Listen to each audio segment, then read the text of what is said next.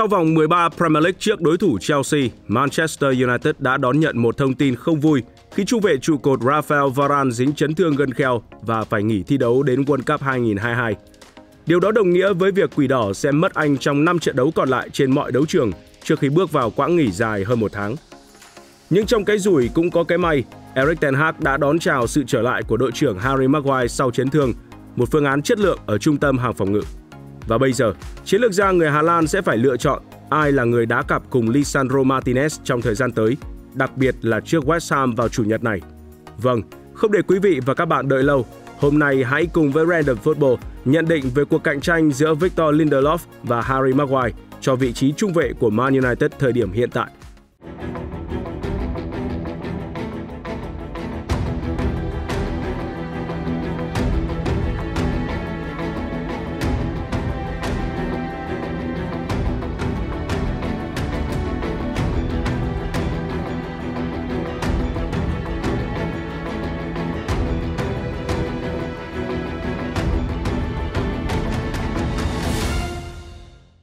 Manchester United đang có phong độ ấn tượng khi bất bại 7 trận trên mọi đấu trường kể từ sau thất bại trước Man City trong trận derby thành Manchester. Trong đó có 5 thắng lợi và 2 trận hòa. Và giữa tuần vừa qua, họ vừa hủy diệt Sheriff Tiraspol tại Europa League khi không cho đối thủ tung ra một cú dứt điểm nào. Người ta đã dễ dàng nhận ra sự khác biệt về cách tiếp cận trận đấu của Quỷ Đỏ dưới thời của huấn luyện viên Erik ten Hag. Không còn là lối chơi vô hồn, không còn trông chờ vào sự tỏa sáng của các cá nhân đội chủ sân Old Trafford có nhiều mảng miếng hơn so với trước. Thậm chí cách chơi của họ còn tỏ ra đồng bộ hơn, đặc biệt là trong các trận cầu đinh. Ở những chiến thắng trước Liverpool, Arsenal và Tottenham Hotspur, Man United biết đẩy cao tốc độ tại các thời điểm hợp lý, qua đó tung ra đòn kết liễu đối thủ. Trong trận hòa 1-1 trước Chelsea, chính đoàn quân của thầy Mười mới là những người chơi hay hơn trong hiệp 1.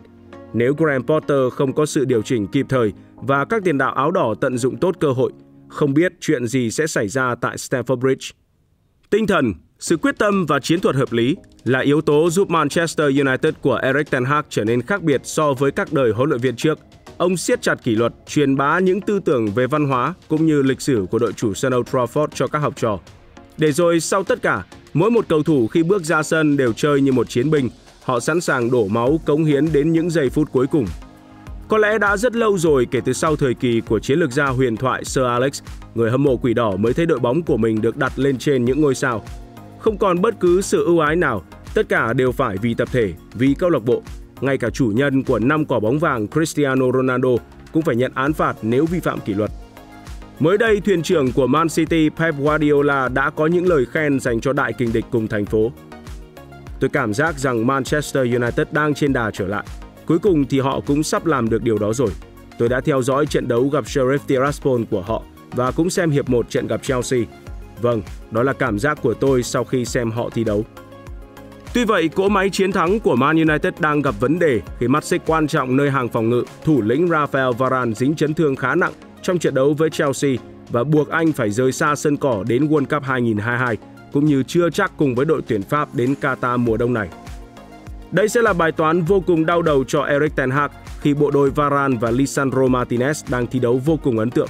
Họ tạo nên tấm lá chắn kiên cường trước khung thành của David De Gea và trở thành cặp bài trùng ăn ý giống hệt huyền thoại Rio Ferdinand cùng với Nemanja Vidic ngày xưa.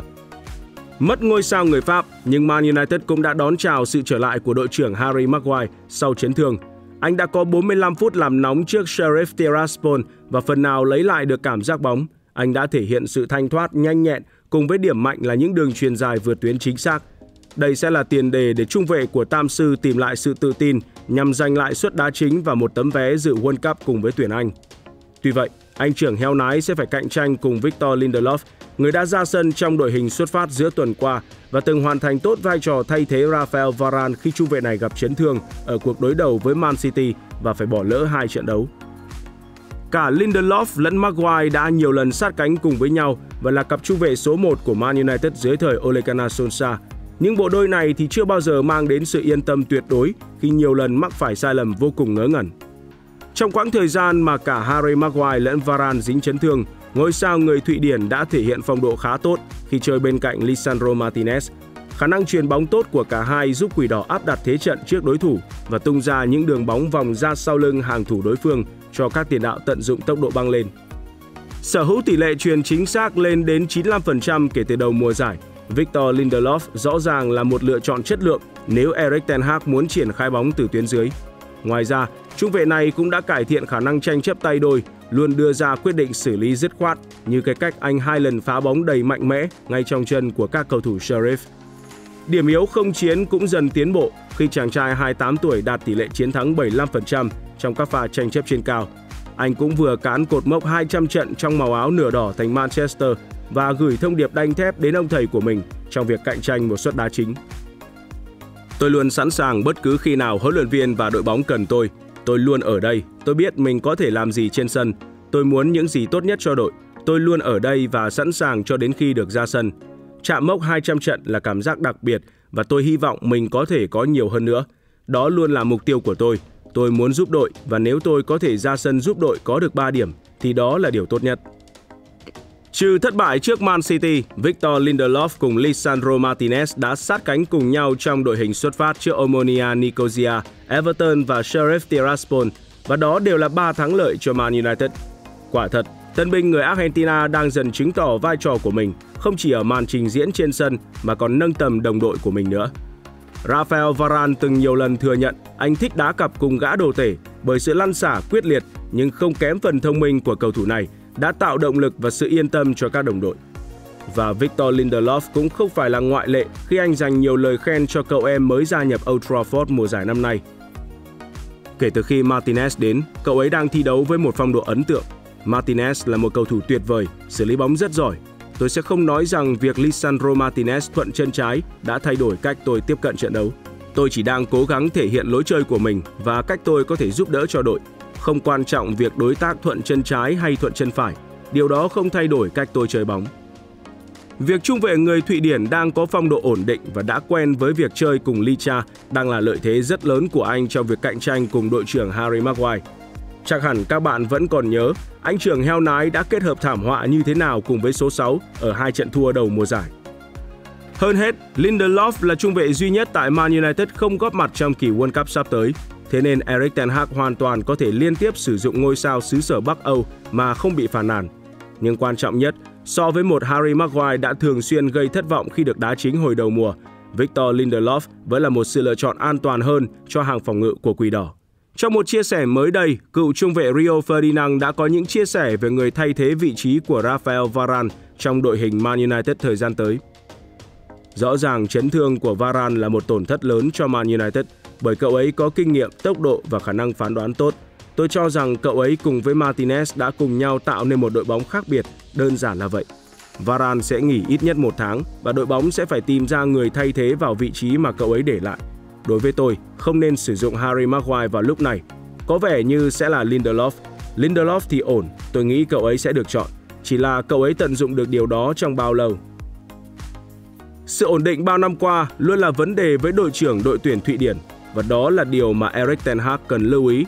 Nhưng tại thời điểm này, việc sử dụng Lindelof bên cạnh Licha là hoàn toàn hợp lý với những gì bộ đôi này đã thể hiện.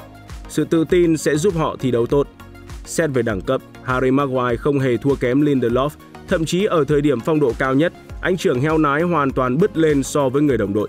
Tuy vậy, điểm yếu tâm lý đang là rào cản khiến cho số 5 đánh mất chính mình và dần xa sút thê thảm. Áp lực từ truyền thông, từ chiếc băng đội trưởng và từ chính bản thân anh đã khiến cho Harry Maguire liên tục tấu hài mỗi lần ra sân thi đấu. Mọi điều xui xẻo đều dồn vào anh, dù tỏa sáng hay là thi đấu tròn vai thì trung vệ của Tam Sư luôn là đề tài để mang ra bàn tán chế giễu.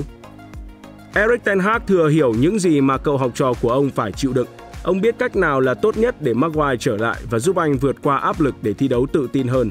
Chỉ cần giải quyết vấn đề tâm lý, đội trưởng của Man United hoàn toàn có thể lấy lại hình ảnh xuất sắc như ngày nào. Những đối thủ trước mắt của Quỷ Đỏ đều có những tiền đạo cao to và thường xuyên sử dụng bóng bổng trong việc triển khai tấn công. Điển hình chính là West Ham và Fulham, nơi có những Gianluca Scamacca, Thomas Suchek và đặc biệt là sát thủ Alexander Mitrovic đều có khả năng không chiến cực tốt.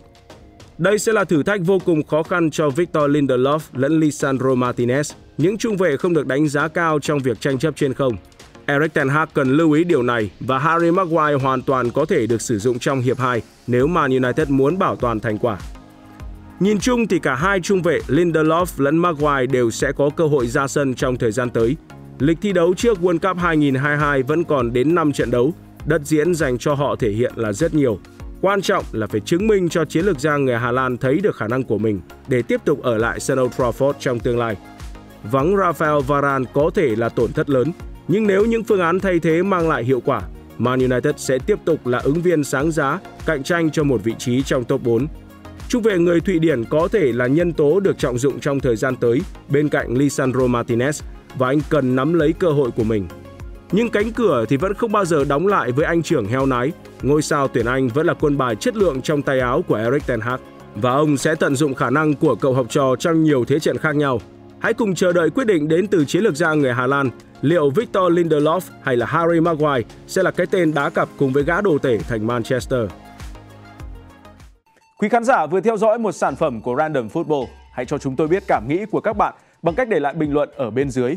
Nếu hứng thú với video này, hãy ủng hộ đội ngũ sản xuất của Random Football bằng cách nhấn like và subscribe đăng ký theo dõi, cũng như bật chuông thông báo để không bỏ lỡ những video mới nhất trên kênh nhé.